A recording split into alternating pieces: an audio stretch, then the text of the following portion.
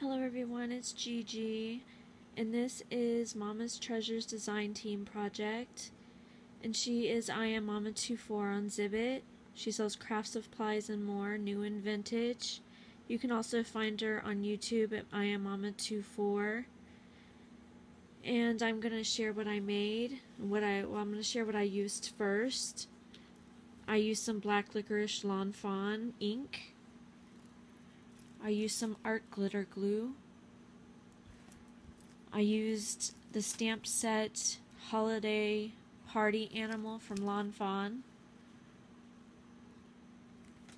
I used two dies from Papertrey Ink.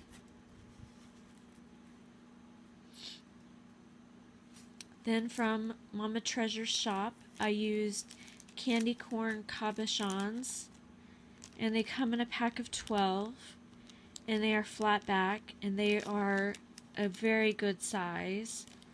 I absolutely love them. They're very nicely made.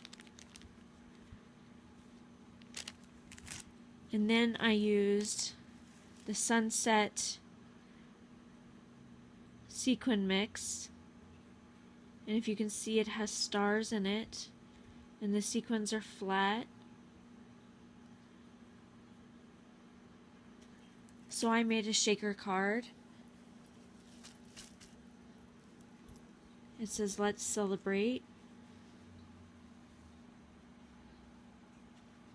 I just love how it came out.